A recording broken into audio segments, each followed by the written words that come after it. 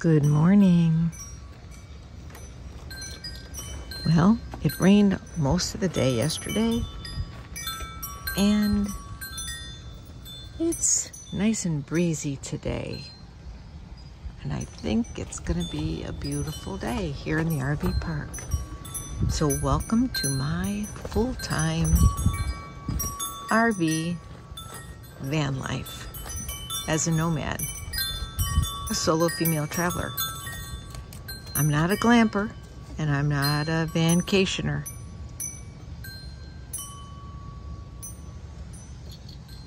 I am a full timer. And this is my life. Ups and downs, ins and outs. Me and my little companion. What is she doing over there? Hey, Danni-O.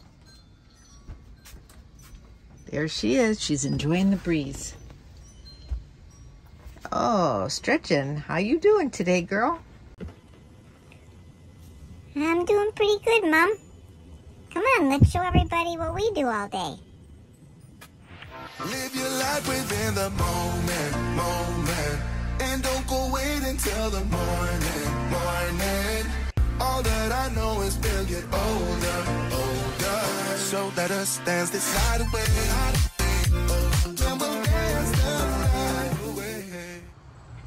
Full time RV life means you have limited space to live in if you're trying to be as minimal as possible, like I do.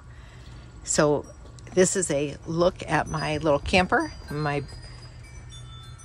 I don't have my bed fully made today because it's been humid and I want to make sure that my mattress cover and my sheets get aired out and get rid of all that humidity. But we love our little home here and behind the curtain. Like, don't pay attention to that man behind the curtain. Well, behind the curtain is my bathroom and two bunk beds, which, if you want to watch one of my videos where I give you a full tour of my camper, you could see that there. And there's my little girl, Danni. Yep, she's just chilling. Those are her pillows she likes to lay on. And this is my home, and it's where I always hang my hat. Let's take a walk outside. I'm trying to declutter. I do have a full kitchen and a full refrigerator, although I do not have an oven. And I did take out my microwave and made it into storage. In my RV life, if I buy something, I have to get rid of something because it's all about making sure that you don't have too much weight in your RV depending on the size of your axle. I do have Starlink, so this will be uploaded with Starlink. I originally started, this is my little camp here right now today. I have a little fence for Danni. Danni's my dog. She's a Morkie. She's six years old. She'll be seven in October. And um, I finally now got me a uh, Blackstone grill. I keep calling it a Bridgestone. It's not. A Blackstone grill. I have my bike and I make PVC birds. That's my pelican that I My made. camper is 19 and a half feet long, not counting the nose. And I have a one up rack for my e-bike for one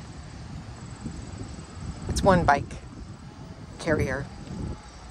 I do carry a little gray tank with me, or blue boy, some people call it, but I just started doing that. I've had that for like two years and I rarely take it out, but when I'm in Illinois, I often take it with me. I started out pulling my camper with a Ford Explorer, but I found that it just wasn't enough storage for me. So I needed more.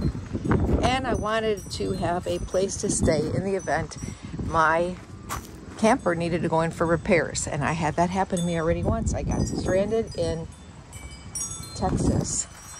People were really nice. My van tows 6,400 pounds and is a Ford Transit 250 cargo van. I was looking for a passenger van because it already has the walls and the ceilings and the rear air conditioning and the carpet, but it wasn't available during the time when that chip prevented a lot of new vehicles from being manufactured. It's a little windy today, sorry.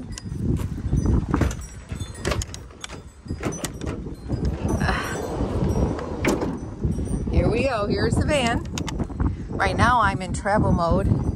I have my SetPower refrigerator that I can keep groceries in to and from the store, especially in the hot places like Arizona and Florida. I'm getting ready for a trip to Michigan. So I have some things packed in here. It's usually not this crowded. Extra water, extra soda, and ready for the Lollapalooza meetup in Texas in Abilene at the state park. I do have a bed.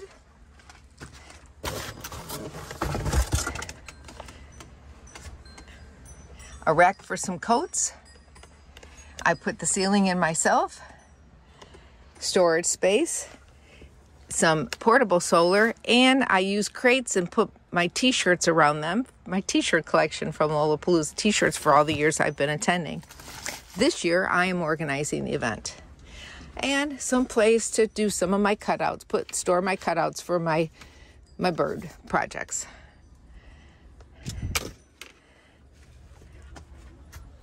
I have what I call my smart cart. Underneath here I have three 100 watt lithium batteries, a Renogy charge controller, 40 amp charge controller, and on my roof I have installed two 100, uh, two 100 watt flexible weatherproof solar panels. You can watch the series of videos of when I built out my van. I did it myself. And I installed my own panels and my solar and battery system. This is great in the event that I do get stranded or have to take in Shooting Star, which is the name of my camper, if I have to take Shooting Star in for repairs or if I just want to drop my trailer and take the van somewhere. And I have a bucket stored underneath the front seat for, you know what, the bucket toilet system. Yep. I did not reverse my seats in the front because in the event I have some extra lights here, but in the event I have a passenger, I want to be able to have one of my grandkids right up front with me and Danni. We love our van. In the back of my van, I keep the brown boxes for Danni's fence. And in the back of my van is my garage. I have a blackout curtain so when I'm parked people can't see everything. But I have my clam. I have it standing straight up in a, a bucket. I'm going to be converting this big spray can into a small one that I bought. I bought a smaller one. And I have some portable items underneath here in my garage. I normally carry a 2000 Predator generator right there in that spot, but I have some items there that I'm taking with me to Lollapalooza and I'll be and taking with me to Michigan. So I will be putting my generator back in here when I head for Texas in October. And then I just simply just put the fence up on top here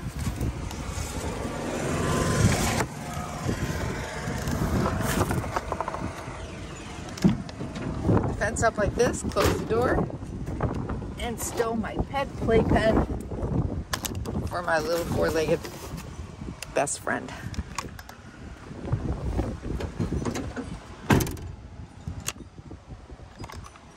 We're not fancy. We're not glamping. We're just RV living full time. I carry two gas tanks which is great when I'm out in the desert. I do have a 12 volt battery on the camper, and I have portable solar that I can plug in to trickle charge.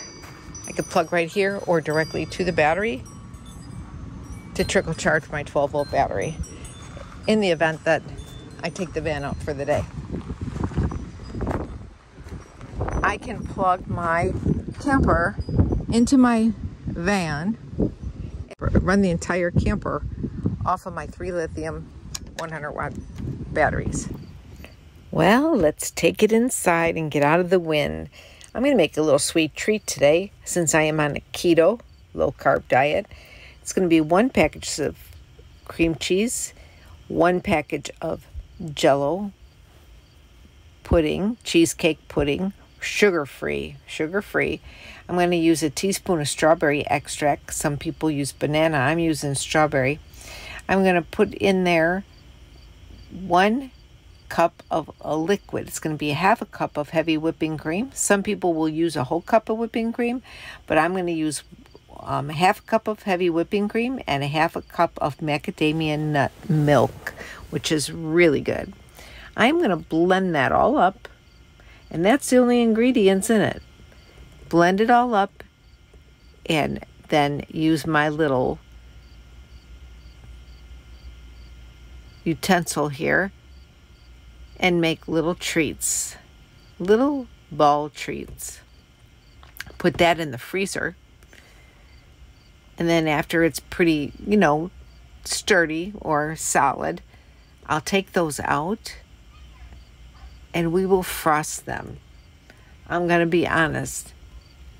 It tastes much better without the frosting, but if you like a little chocolate frosting on there, it does also taste good. Okay, in the freezer, here we go. Perfect spot right there. Usually that's where I put my popsicles.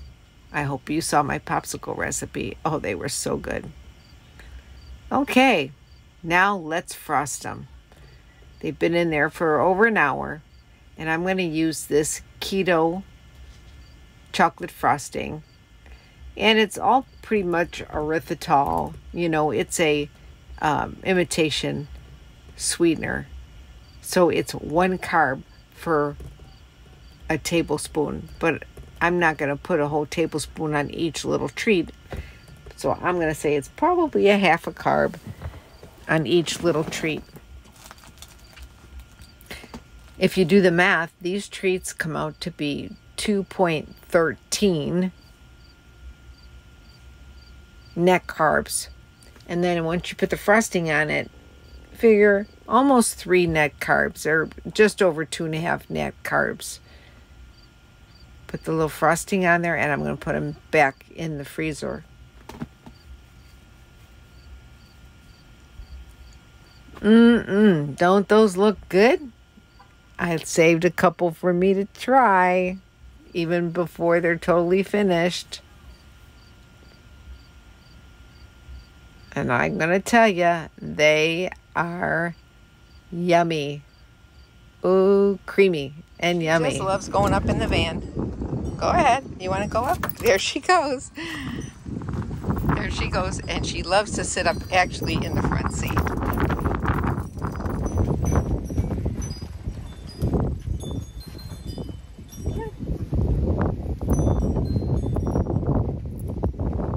Are you a full-time RVer?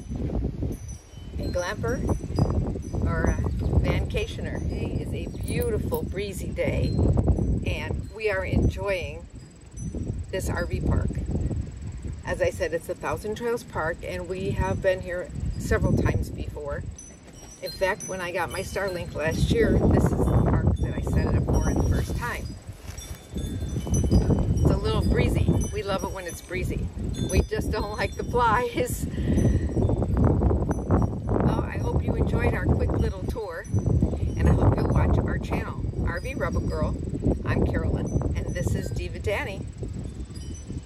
If you would subscribe, smash the bell for notifications, and share my channel, I would greatly appreciate it. I would really you know, encourage you to watch for, if you're looking for the real truth about being a nomad and being full time, watch the full timers. If you want to know what the weekend warriors do and what the glampers do and what the vacationers do, then watch the vacationers. But also watch all the videos because you will learn some good things from vacationers and you will learn some great things from glampers. It depends on the lifestyle that you are able to live. so if you're not able to afford to be a glamper, then you might check out some of the van lifers and the full-time RVers.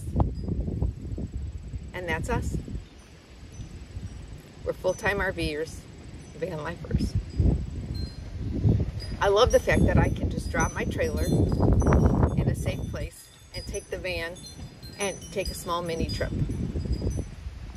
It's great because I have the bed, I have a refrigerator, and I have a bucket. And I carry water. I have a membership for Planet Fitness, which I can go to any Planet Fitness anywhere in the United States because I have a black card.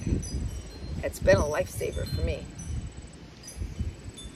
So right now I'm kind of glamping because I have full hookup. But many times I boondock out in the desert and we stay out there for one or two months at a time.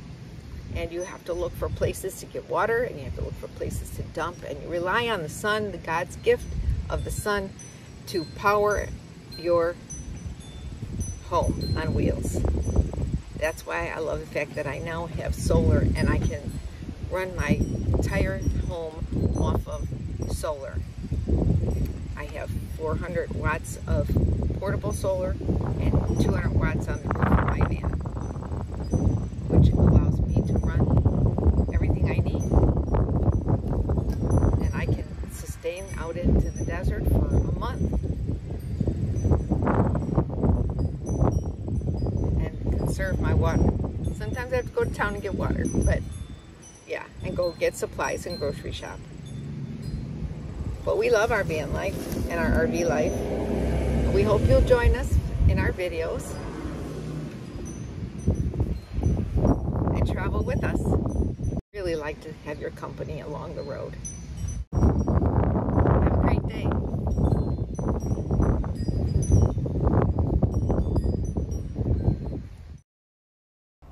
Have a great day and stay tuned for our next video.